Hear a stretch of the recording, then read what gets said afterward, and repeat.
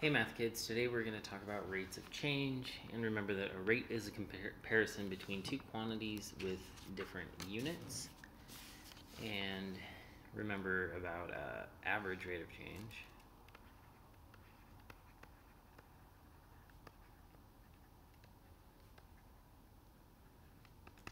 So average rate of change is really just the gradient or the slope. And so if we have um,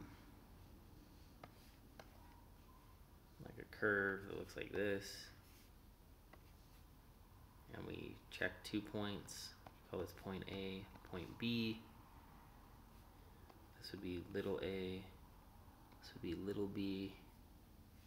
And so this would be f of a. This would be f of b.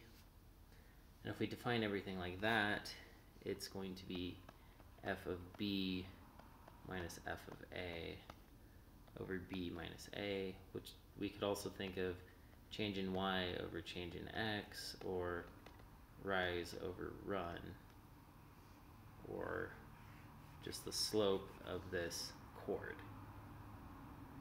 Okay?